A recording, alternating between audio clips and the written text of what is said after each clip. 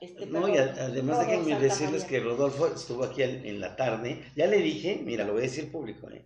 ya le dije que te invite a uno de sus programas, porque Rodolfo tiene un programa de deportes muy padre, muy bonito, Sí, muy sí interesante. Y lo, lo he estado siguiendo en las redes sociales Ah, también. Como Ah, y creo que ya habló contigo, ¿verdad? Platicó sí, ya hemos contigo. este, platicado un Entonces, una felicitación a Rodolfo que está en lo que tiene que estar, en lo que tiene que estar. Por cierto, también público, Rodolfo, la maestra Nadia Centeno, una maestra que se ha dedicado durante muchos años a eh, la enseñanza del, del taekwondo, ¿verdad? Que estuvo en la mañana aquí, cumplirá años el próximo martes y va a ser un evento en el Campo Cardenales el martes 28 a las 4 de la tarde.